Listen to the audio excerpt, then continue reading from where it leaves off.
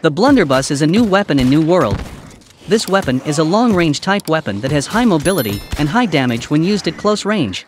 The blunderbuss mastery trees consist of the containment and chaos trees. The tree of containment focuses on closing gaps and releasing hot lead into your enemy's face. The three active abilities in this tree are Net Shot, Claw Shot, and Azoth Shrapnel Shot. The Tree of Chaos focused on maintaining distance and bombarding the area with explosive AoE damage. The three active abilities in this tree are called Splitting Grenade, Mortar Charge, and Blast Shot. We have recommendations for the perks you can use. First, Mortal Energy. This is useful because when you kill something, you will gain stamina. Second, Vorpal.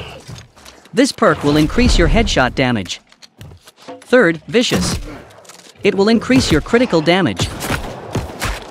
We also recommend you to use this weapon in combination with the blunderbuss. First, Great Axe. Use in conjunction with the enemy's gravity well skill to stun them. Second, Warhammer. The combination with the enemy's shockwave skill gets a stunning effect. Third, Hatchet. The Berserk skill that adds mobility to make it easier to gap or escape. Fourth, Sword. A combination of Defiant Stance and Leaping Strike skills aims to make a crowd jump at the enemy, and then switch to a blunderbuss to do explosive combos.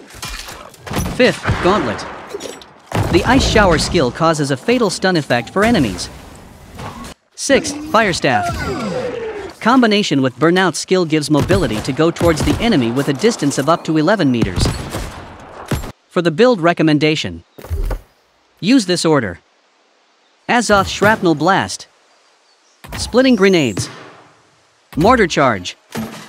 Reach. Discord. Refresh. Azoth Bomb. Soften. Steady. Freedom. Streaks. Ramp. Deep load. Buckshot. Artillery. Extended chamber. Future planning. Bite back. Double down. That's it for today's video. Comment below with what you want to know.